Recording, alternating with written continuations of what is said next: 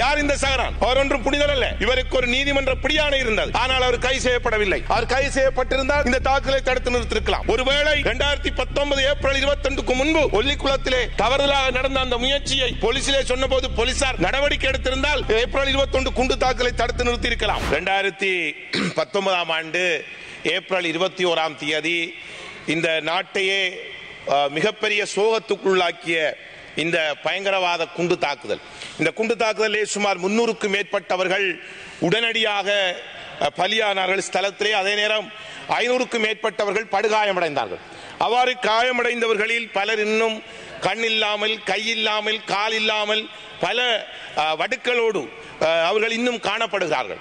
இவ்வாறான ஒரு சூழலிலே உங்களுக்கு தெரியும். ரெண்டாயிரத்தி பத்தொன்பது ஏப்ரல் இருபத்தொன்று இந்த உலக தோடு தொடர்புடைய இந்த தாக்குதல் இடம்பெற்றதாக கூறப்பட்டது.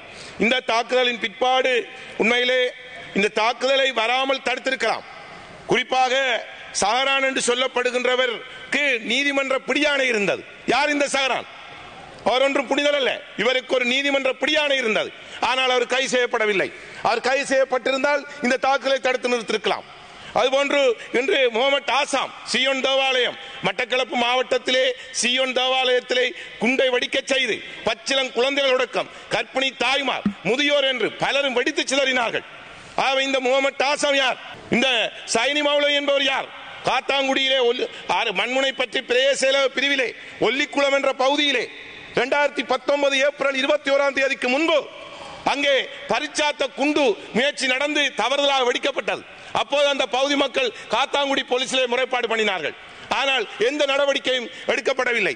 ஒருவேளை இரண்டாயிரத்தி பத்தொன்பது ஏப்ரல் இருபத்தி ரெண்டுக்கு முன்பு ஒல்லிக்குளத்திலே தவறுதலாக நடந்த அந்த முயற்சியை போலீசிலே சொன்னபோது போலீசார் நடவடிக்கை எடுத்திருந்தால் அந்த இருபத்தி ஓராம் ஏப்ரல் இருபத்தி குண்டு தாக்கலை தடுத்து நிறுத்தியிருக்கலாம். ஏன் இன்று எதிர்கட்சியில் இருக்கிறவர்களாம் ஆளுங்கட்சியில் இருப்பவர்களாம் ஒரு சில பாராளுமன்ற உறுப்பினர்களுக்கு ஒரு சில அமைச்சர்களுக்கு கூட முன்கூட்டி இவ்வாறான ஒரு தாக்குதல் நடத்தப்பட போகுது என்ற விடயம் தெரிந்திருந்தல் தகவல் கிடைத்திருந்தது இது தொடர்பான எந்த ஒரு விசாரணை மேற்கொள்ளப்படவில்லை. இவ்வாறு பல்வேறுபட்ட விடயங்களை கூற முடியும். அது மாத்திரமல்ல பவுனதீவு போலீஸ் காவலரிலே கா- காவலில் ஈடுபட்டிருந்த ரெண்டு போலீசார் அதில் ஒருவர் என்னுடைய மாணவர். அந்த ரெண்டு போலீசாரையும் சாரானுடைய சாரதி என்று சொல்லப்படுகிறவர். அவரை மிக பயங்கரமான முறையிலே கண்ணை தோண்டி கத்தியினால் குத்தி கொலை செய்திருந்தார்கள். ஆனால் அவர் கை செய்யப்படவில்லை. மாறாக கரையாக்கன் தீவிலே இருந்த முன்னாள் போராளியான அஜந்தன் என்பவர் சந்தேகத்தின் பேரிலே கை செய்யப்பட்டு விளக்கமறியில் வைக்கப்பட்டிருந்தார். ஆக இவ்வாறான விடயங்கள் முன்கூட்டியே ஏன் காத்தாங்குடியில் கூட முஸ்லிம் மக்கள் கூட இந்த சாரானுக்கு எதிராக ஆர்ப்பாட்டம் பண்ணியிருந்தார்கள். அவருக்கு அவருக்கு அவருக்கு எதிராக தங்களுடைய கருத்துக்களை வெளிப்படுத்தி இருந்தார்கள் இருந்தும் அந்த சஹரான் கைது செய்யப்படவில்லை. நீதிமன்ற பிடியான இருந்து கூட அவர் கைது செய்யப்படவில்லை. இவ்வாறு பல்வேறுபட்ட பிழைகளை இந்த சட்டத்தை நடைமுறைப்படுத்த வேண்டியவர்கள் விட்டதன் விளைவு. இதனால் பல்வேறுபட்ட மக்கள் பாதிக்கப்பட்டார்கள். இதைத் தொடர்ந்து நாங்கள் கா- கிழக்கு மாநிலத்திலே முத முதல் இந்த தாக்குதலுக்கு எதிராக கவன ஈர்ப்பு போராட்டத்தை மேற்கொண்ட ஒரு பாராளுமன்ற உறுப்பினர் தான். என்னோடு நானும் என்னுடைய முற்போக்கு தமிழர்களும் நாங்கள் ஒரு கவன ஈர்ப்போடு பல கவன ஈர்ப்போடுகளை மேற்கொண்டோம். சுழற்சி முறை உண்ணாவிரத போராட்டங்களை மேற்கொண்டோம்.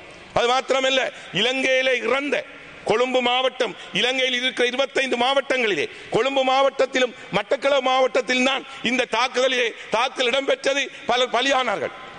நீர்வளம் உட்பட. ஆகவே இவ்வாறான சூழலிலே இலங்கையிலே முதலாவது இறந்த மக்கள் அனைவருடைய பெயரையும் உள்ளடக்கி ஒரு ஞாபகார்த்த தூவியை நாங்கள் அமைத்தோம். இதற்கு எங்களுடைய டாக்டர் ஜேதவனர்கள் உதவி செய்தால் அந்த தூவியை முதலாவதாக இலங்கையில் நாங்கள் அமைத்தோம்.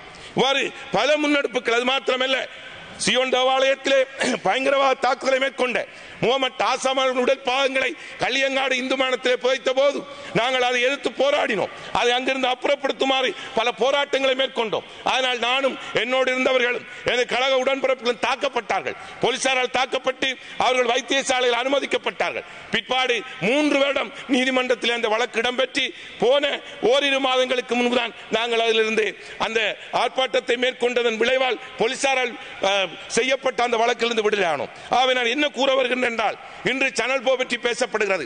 யார் குற்றவாளி? யாரே நான் யாரையும் இங்கு இவர் குற்றவாளி இவர் அஹ், நிரபராதி என்று சொல்ல வரவில்லை. யார் பிழை செய்திருந்தாலும் பிழை. இன்று இந்த இவ்வளவு பெரிய பாதிப்புகளை சுமந்திருக்கின்ற கிறிஸ்தவ சமூகம் உட்பட வெளிநாட்டவர்கள் கூட இங்கு வந்து மறித்தார்கள். நட்சத்திர விடுதலை இந்த கொட்ட திட்டமிட்டு இந்த தாக்குதல் மேற்கொள்ளப்பட்டது. இது உடனே ஆஹ், யோசித்து உடனே நடந்த ஒன்றல்ல. பல மாதங்கள் சில வருடங்கள் திட்டமிடப்பட்டு நடத்தப்பட்டது. ஆகவே இதன் பின்புலத்தில் யார் இருந்தால் நான் யாரையும் இன்று ஏனென்றால் ஆசாத் மௌலானா இன்று அவர் சனல் போக்கு பேட்டி கொடுக்கலாம். நாளை திடீரென்று வந்து நான் இந்த அழுத்தத்தினால் சொன்னேன் என்று அவர் மாறலாம். எதுவும் நடக்கலாம். ஆகவே நான் இவர் நல்லவர் இவர் கெட்டவர் இவர் ஆஹ், நியாயமானவர் ஏன் நியாயமற்றவர் என்று நான் சொல்ல வரவில்லை. யாராக இருந்தாலும் இன்னும் காலம் தாமதிக்காமல் காலத்தை இழுத்தடிக்காமல் நாட்டிலே சட்டத்தை நடைமுறைப்படுத்த வேண்டியவர்கள் குறிப்பாக நாட்டினுடைய ஜனாதிபதி அவர்கள் இதிலே கூடுதலான கவனத்தை செலுத்த வேண்டும். இதிலே இரண்டாயிரத்தி பத்தொன்பது ஏப்ரல் இருபத்தொன்றுக்கு முன்பு கவனம் செலுத்தி இருந்தால் இந்த தாக்குதலை தடுத்து நிறுத்தியிருக்கலாம். ஆகவே சொல்லப்படுகிற எந்த ஒரு விடயத்தையும் அலட்சியமாக எடுக்காமல் மிக கவனமாக உன்னிப்பாக எடுத்து சட்டத்தை நடைமுறைப்படுத்துங்கள். பாதிக்கப்பட்ட அந்த மக்களுக்கு நிச்சயமாக ஒரு நீதி நியாயம் வேண்டும் என்பதை இந்த இடத்துல கூறிக்கொள்ள விரும்புகிறேன். இது மிக முக்கியமான விடயம். ஆகவே கால இழுத்தடிப்புகள் செய்யாமல் நீதியை நிலைநாட்டுங்கள். நாம் யாரையும் மீண்டும் சொல்லுகிறேன். யாரையும் நான் இவர் குற்றவாளி இவர் நிரபராதி என்று நான் சொல்ல வரவில்லை. சட்டத்தை கண்ணால் காண்பதும் போய் காதல் கேட்பதும் போய் தீர விசாரிப்பதுமை. ஆகவே அந்த தீர விசாரணை என்பது கால இழுத்தடிப்பு இல்லாமல் பாதிக்கப்பட்ட மக்களுக்கு நியாயம் வழங்க வேண்டும். என்னுடைய குடும்ப உறவினர்கள் கூட இருபத்தி நாலு மணித்தியாலத்துக்கு பின்பு மட்டக்களப்பு பிரேதாரையிலே தாயும் பிள்ளையும் கரிய நிலையில் இருந்தார்கள். இன்றும் பலர் அந்த காயங்களோடு துடிதுடித்துக் கொண்டு நாம் வாழுகிறார்கள். ஆகவே மன்னிக்க கிறிஸ்தவ மார்க்கத்தின்படி மன்னிக்கிறார்கள். ஆனால் அவற்றை மறக்க முடியாது. ஆகவே இன்னொரு நிகழ்வு நடைபெறக்கூடாது இதற்கு சட்டம் சரியான நடவடிக்கைகளை அரசாங்கம் என்ற தரப்பிலும் நாங்கள் மேற்கொள்ள வேண்டும். அனைவரும் இதற்கு ஒத்துழைக்க வேண்டும். சட்டத்தை நடப்படுத்த அதிகாரிகள் மேல் கவனம் செலுத்த வேண்டும்